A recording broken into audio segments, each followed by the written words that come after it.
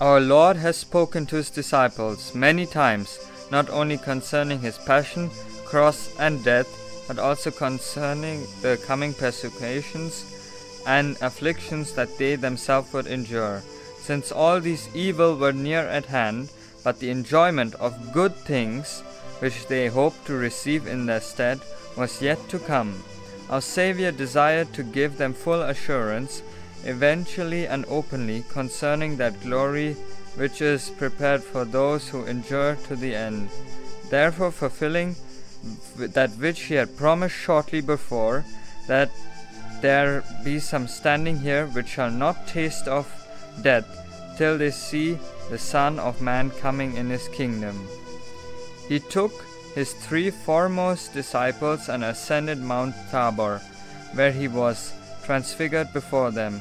His face shone like the sun, and his clothes became white as the light.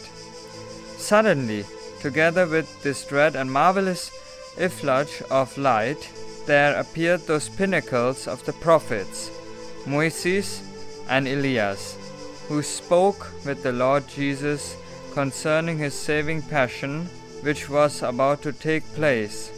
Standing before him as reverent servants, they showed that he is the Lord of both the living and the dead.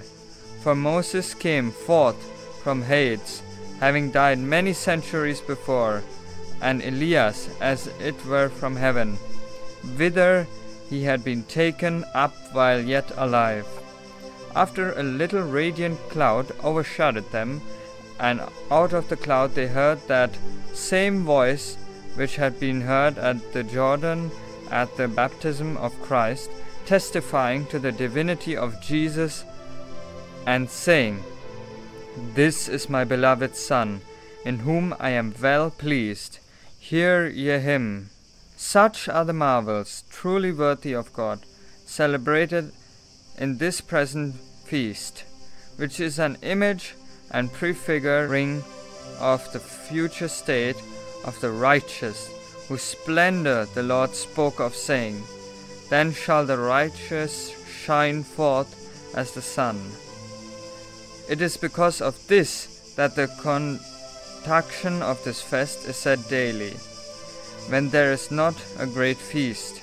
In the service of the Typica is perpetual commemoration of the glory that will be the lot of the saints. According to tradition, the Lord's transfiguration came to pass forty days before his crucifixion. This is why the transfiguration is celebrated forty days before exaltation of the cross.